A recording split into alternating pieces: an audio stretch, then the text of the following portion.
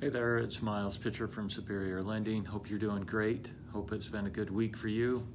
It's been a great week for us. We've been cranking away, um, moving through and helping lots of clients, which is what we love to do. Uh, today, I wanted to talk to you a little bit about the, the top myths that we are finding with clients who haven't bought a home before. Um, and I, I think this is great for us to be aware of because many times clients disqualify themselves before they even talk to an agent, a loan officer. And so I think it's really good for you guys to be aware of these and be able to help dispel these myths. Um, when somebody says, oh, we're gonna wait to buy a home, dig in a little deeper and ask them why they're gonna wait. So here's my list that we run into. number one, there is still a massive part of the market or home buyers that believe you have to have 20% down payment. Um, please educate them that you can get some fabulous loans that are 0%, 3%, 5% down payments. Myth number two, private mortgage insurance is too expensive, therefore I have to have 20% down. Um, somebody with excellent credit can really get some PMI, private mortgage insurance, that is very inexpensive. Um, it's surprising how in, inexpensive it is. Myth number three, credit pulls hurt my credit score. We've talked about this before on this video. The truth is that if somebody is shopping and has multiple mortgage companies pull their credit within a a tight time period, say somewhere around two weeks, that only counts as one pull and therefore will not hurt their credit.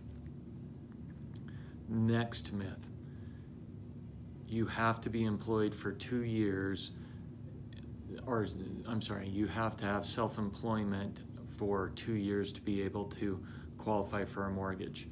Again, we've talked about this on our uh, videos before. There are many different ways to be able to help somebody to get into a home after one year of self-employment if it's in they've been in the same line of work um, and they've completed a full calendar year in, from January to December 31st and completed their taxes. That also goes for 1099 and commissioned employees.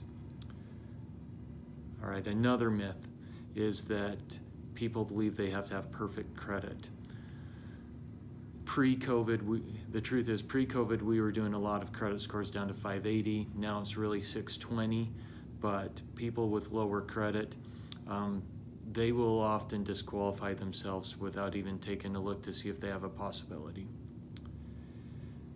Another myth is student loans are a deal breaker or student debt. Uh, there are certain loan, the truth is there are certain loan programs that will allow us to exclude people's student debt. So um, don't let people disqualify themselves because of that. Another big one that people sometimes misunderstand, this is more of a misunderstanding, and we try to clarify with our clients, is that the down payment they're making will cover the closing costs also. Please help the clients to understand that the down payment and closing costs are two separate things, and we have to address both of those anyways, I hope that you can take those myths. Maybe you guys have found some other myths that you'd like to share with us. Um, we're probably going to put together a flyer. We'll be happy to share it with you that you can hand send out to your clients to help dispel these myths. Hope you have a great, great week. I hope you're killing it, showing lots of homes, selling lots of homes, uh, helping lots of clients. Miles from Superior Lending. Have a great one.